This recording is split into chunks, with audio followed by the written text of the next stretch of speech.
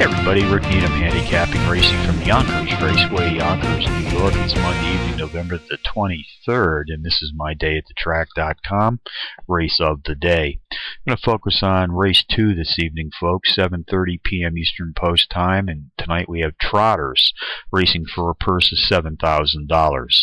Contenders number 2, De Niro, number 3, BJ's The Bomb, number 1, Amy, and number 5, Dan. Number two, De Niro, is both the speed and pace profile leader in this trotting field tonight, has hit the board in power run fashion each of his last three outings, including a power run win here at Yonkers in his second race back.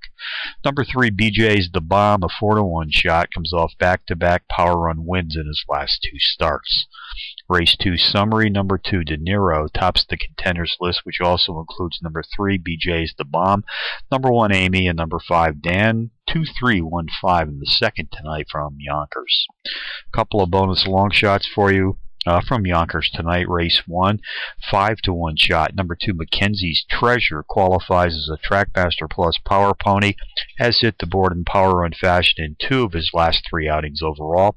And in race number three tonight, check out number seven, Jones Bad Boy, a four to one shot also a Power Pony qualifier, is also the overall speed leader in this allowance field tonight. So handicapping from Yonkers on a Monday night.